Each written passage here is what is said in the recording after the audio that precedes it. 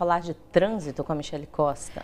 Começar com um assunto que é recorrente, Priscila, o furto de cabos que continua sendo um problema para a mobilidade urbana também, né, que quando acontece deixa o trânsito mais complicado. E também um problema financeiro reportagem que nós mostramos aqui, mostramos ao vivo dos abrigos da Avenida Hermes Fontes esta semana. Aí nós recebemos essas mensagens e fomos em busca de resposta, claro, né?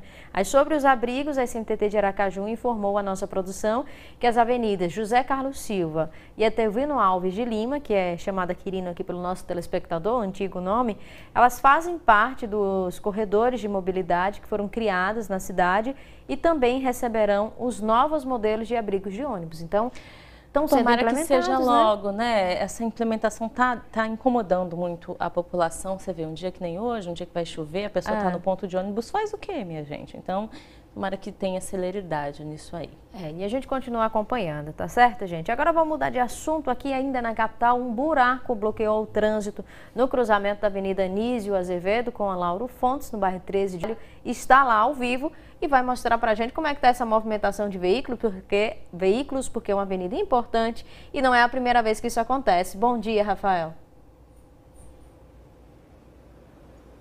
A placa que sinalizava o desvio, os veículos começaram a passar, onde não era permitido ainda, porque o serviço não tinha sido concluído. A gente espera que aí tenha sido permitido, é, né? Pela organização da sinalização, pode ser que sim.